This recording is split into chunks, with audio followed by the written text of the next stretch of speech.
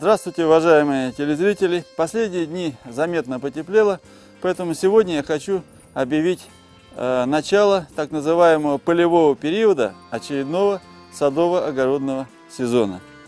Ну, я надеюсь, что все мы за зиму хорошо отдохнули, э, набрались желания работать на земле, поэтому давайте выйдем на участки и э, проведем первые работы. Ну а какие именно, посмотрим на примере нашего участка.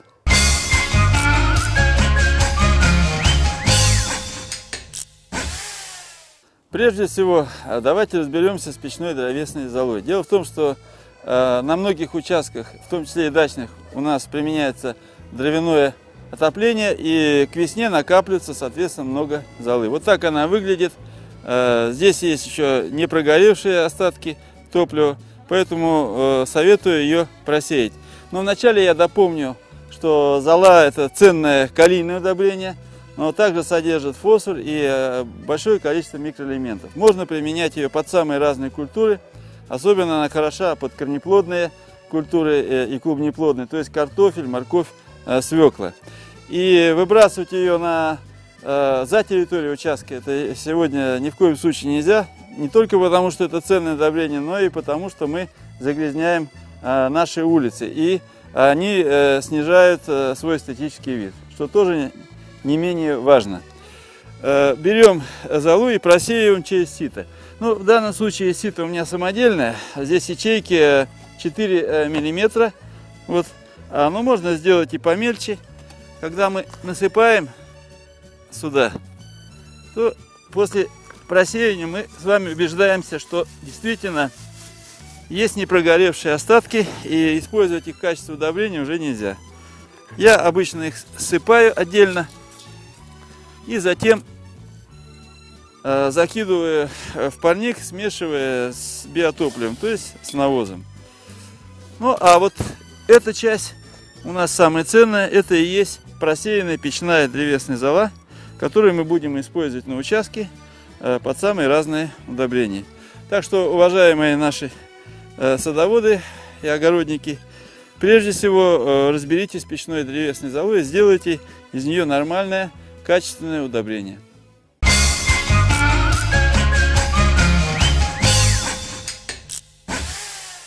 А следующая операция это просеивание перегноя.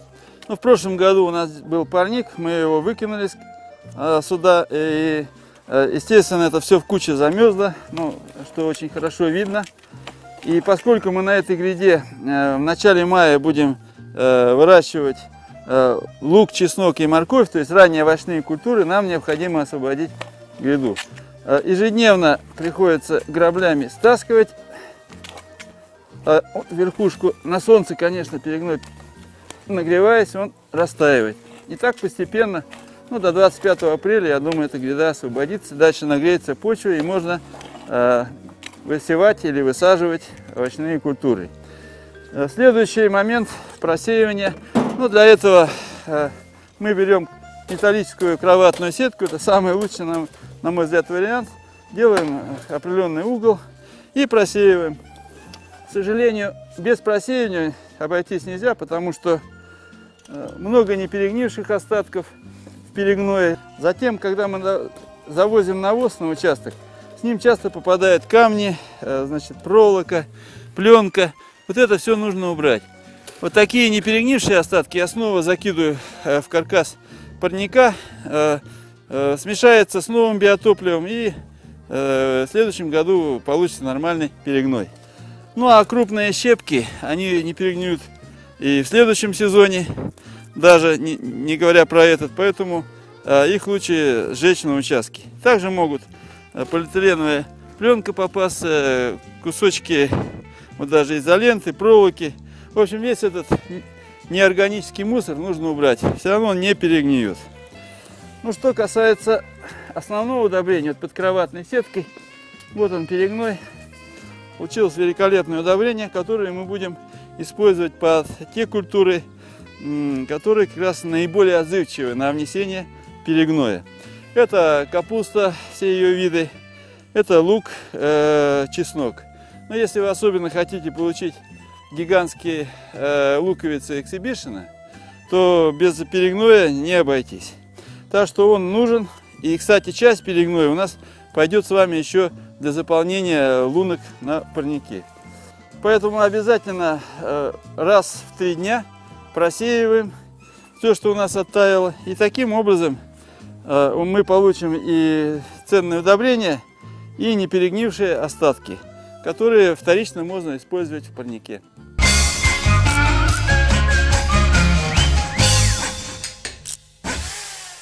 Не менее важную работу, уважаемые огородники, нам предстоит сделать в эту субботу-воскресенье, это распекировать томат для открытого грунта. Ну, э, в идеале можно использовать э, вот, у, специальную ургасу для томатов местного производства. Но, во-первых, на мой взгляд, это, когда мы выращиваем много корней, достаточно дорого будет. Ну, а во-вторых, э, значит, ургаса э, будет способствовать слишком быстрому росту растений э, томата, что тоже не совсем э, э, положительно сказывается на конечном результате, то есть на урожае. Поэтому я предлагаю вам собственную смесь, которую можно изготовить в домашних условиях и прекрасно использовать для вот, пикировки томата.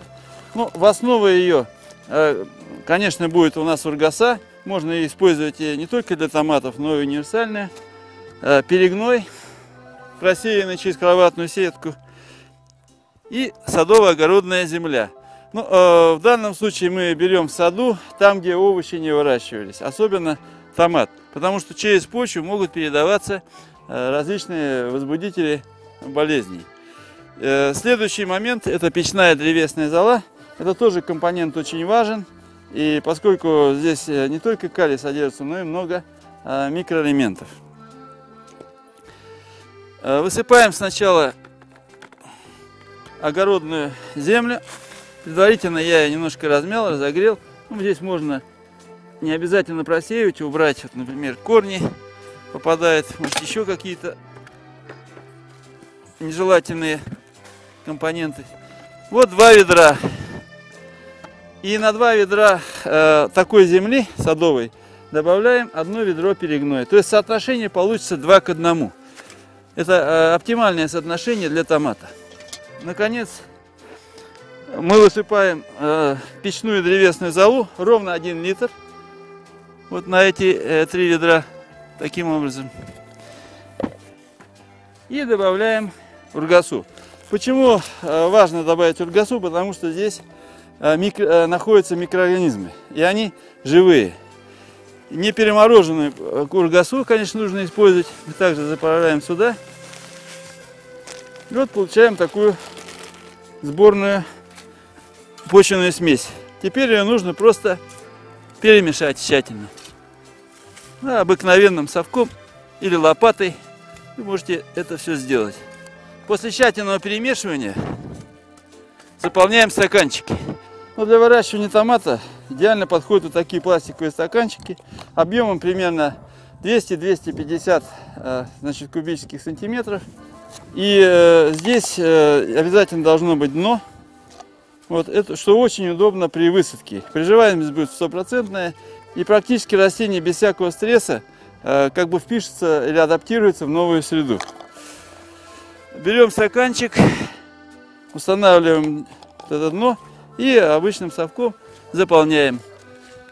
Но должен заметить, что в условиях температуры 10-15 градусов, конечно, эта почвенная смесь будет еще достаточно холодной, поэтому сразу ни в коем случае в нее не пикируйте. А, значит, нужно пикировать после того, как вы занесете почвенную смесь а, уже в стаканчиках, а, непосредственно в комнатные условия, и она нагреется до комнатной температуры. После этого проводите данную операцию. Также хочу отметить, что почвенную смесь можно приготовить и для других культур. Но вот когда мы будем э, с вами высевать капусту, то желательно долю перегноя увеличить. То есть соотношение перегноя и садовой земли должно быть один к одному. Также добавляем э, э, ургасу, лучше универсальную, и печную древесную золу. Ну и можно эту почвенную смесь использовать и для цветочных культур, ну и для других рассадных растений. Садовые центры Садем. Теперь на Кирова, Бурводе и Восточном. Огромный выбор семян в садовых центрах Садем на Кирово, Бурводе и Восточном. Лук-севок, луковичные и горшечные растения в Садеме, на Кирово, Бурводе и Восточном. Товары для рассады, почва, грунты, земля Сибири в широком ассортименте в садовых центрах Садем. Алтайские, сибирские розы в садовых центрах Садем, на Кирово, Бурводе и Восточном. Шок-цена на колбасы БМПК в торговых центрах «Абсолют». Колбаса докторская, колбаса краковская и сервелат улан-удэнский от бурятской мясоперерабатывающей компании со скидкой 50%. Срок действия акции с 31 марта по 6 апреля. «Абсолют» гарантируем качество и по-настоящему низкие цены. Лучший помощник в борьбе с грязью – мойка Bosch. Моем быстро и без устали. Стены дома, дорожки, машины. Купи свой Bosch. Забудь про грязь. Компания «Кристофер» представляет все самое необходимое для сада вашей мечты от «Керхер». Планировали новый телевизор. Соседка посоветовала кредит подешевле. Специально для пенсионеров. В Восточном экспресс-банке платеж небольшой. Теплицу собрали. А я кредит на путевку брала. Прямо рядом с домом. И обслуживание понравилось. Кредит для пенсионеров всего за 1745 рублей в месяц. Восточный экспресс-банк.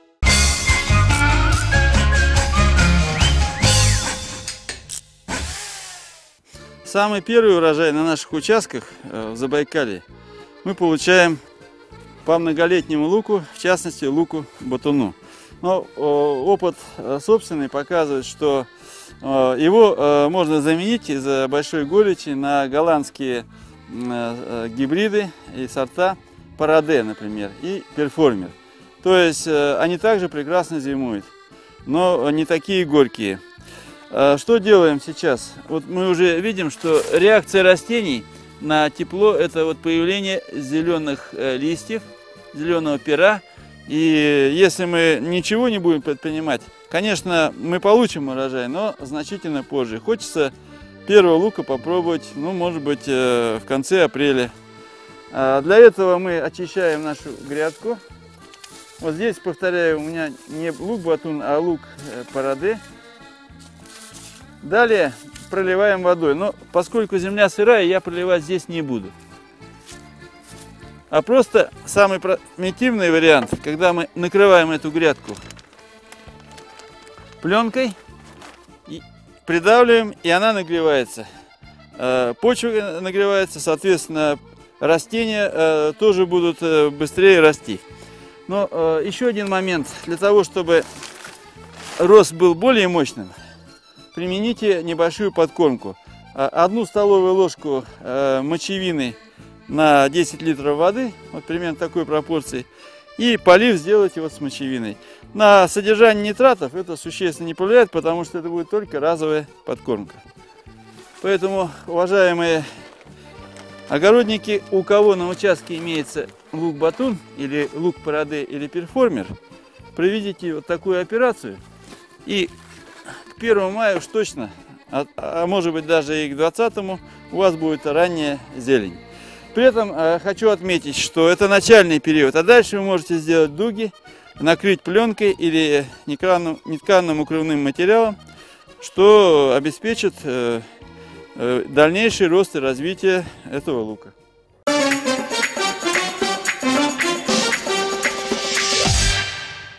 Я продолжаю знакомить вас, уважаемые телезрители, с новинками сезона. В этот раз сортами и гибриды арбуза, э, значит, э, дыни и цветочных культур. Э, по арбузу хочу отметить следующее, что в условиях Забайкалия это должны быть сорта и гибриды с некрупными плодами массой до 3, может быть, до 4 килограмм. И, как правило, раннеспелые. Вот из новой серии арбуз астраханский, но мы знаем, что Астраханский арбуз считается чуть не лучшим в России, а так оно и есть. А, но вот это астраханский ранний. А, в наших условиях а, проявит, думаю, достаточную продуктивность. Арбуз старт. Та же некрупные плоды до 3 килограммов. Арбуз фотон. Из гибридов это F1, Cream Star. Ну, мы знаем Crimson Glory, есть знаменитый Crimson Sweet – ну, судя по названию, это импортный, конечно, гибрид. Можно использовать его и в теплице. И, наконец, а, что особенно импонирует, в последнее время появляется много сортов арбуза а, алтайской селекции. Все-таки это сибирская селекция. наверняка они более адаптированы, эти сорта, для наших условий. Вот алый сахар. Ну, само название говорит за себя, что сладкий и алые расцветки. Ну, в общем-то, для открытого грунта. Алый сахар. Дыня, она должна быть по размерам не более полутора-двух килограммов. Поэтому увлекаться сортами, гибридами, формирующих гигантские плоды, смысла э, нет. Все-таки у нас э, короткое лето, даже в условиях теплицы.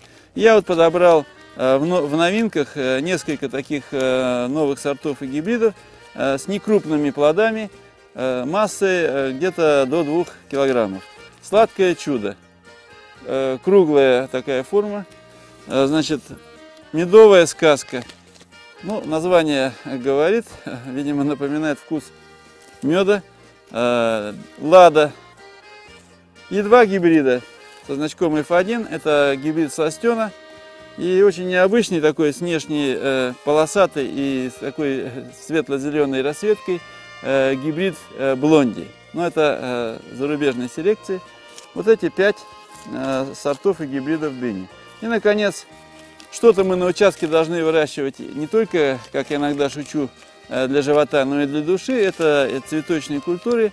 Есть однолетние культуры, которые выращиваются э, рассадой. И здесь тоже достаточно интересные сорта появляются. Но мы знаем э, календула. И вот такие три расцветки. Например, желтая. Название «Золотой император».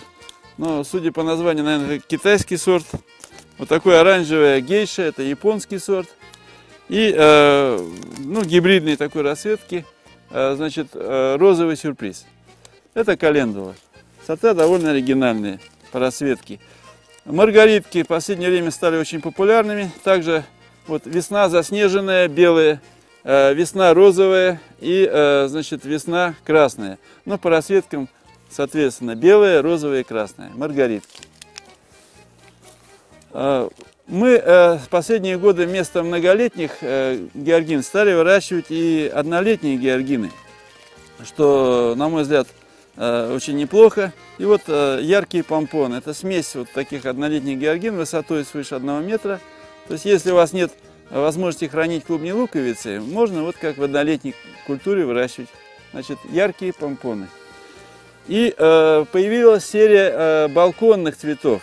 Но они должны быть как бы свисающие, э, поэтому вот ипомея с очень интересным названием динь-динь, ну, я думаю, что это тоже китайский сорт, и э, львиный зов э, амулет, значит, балконные сорта.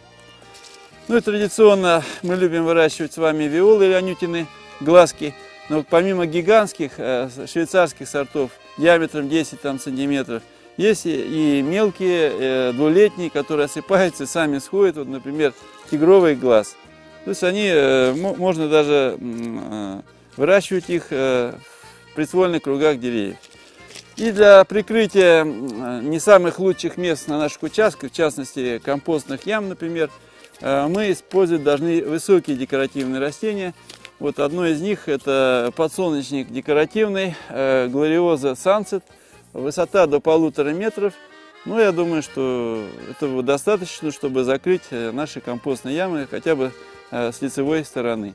Глориоза санса.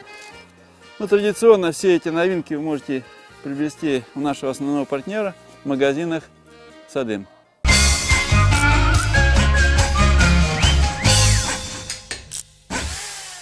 Итак, уважаемые садоводы-огородники, в эту субботу и воскресенье я предлагаю всем выйти на свои участки и провести э, первые работы. Причем сделать это в хорошем настроении, э, чтобы результат вас удовлетворил. Но э, смею заметить, что рассадный период нашего сезона еще не закончился, поэтому, согласно моего агрономического календаря, вы можете посеять в эту субботу-воскресенье раннюю капусту, различные сорта гибриды для получения урожая в июне. А также можете э, э, посадить рассаду арбуза и дыни для выращивания в укрываемых грядах э, с посадкой примерно 15 по 25 мая. Так что работая на участке, не забываем, что мы еще и следим за рассадой и высеваем новые рассадные культуры. Прощаюсь с вами ровно на одну неделю. До встречи. Люблю, когда овощи домашние, своими руками выращенные. Они и душу радуют, и для здоровья полезнее. В садовом центре «Садем» я беру отборные семена, качественные удобрения, почвогрунты, саженцы и многое другое. С таким помощником у меня всегда богатый урожай. Садем. Забота о процветании. Дачный сезон не за горами. Покупаем все к сезону с нами. В торговых центрах «Абсолют». Семена от полутора рублей. Почвагрун 5 литров от 35 рублей. А также в продаже грабли, лейки, укрывное полотно, тачки, шланги поливочные. На даче порядок и в доме уют. Семейный бюджет бережет «Абсолют». Лучший помощник в борьбе с грязью – мойка Bosch. Моем быстро и без устали. Стены дома, дорожки, машины. Купи свой Bosch. Забудь про грязь. Компания «Кристофер» представляет все самое необходимое для сада вашей мечты от Керхер. Планировали новый телевизор. Соседка посоветовала кредит подешевле. Специально для пенсионеров. В Восточном экспресс-банке платеж небольшой. Теплицу собрали. А я кредит на путевку брала. Прямо рядом с домом. И обслуживание понравилось. Кредит для пенсионеров всего за 1745 рублей в месяц. Восточный экспресс-банк.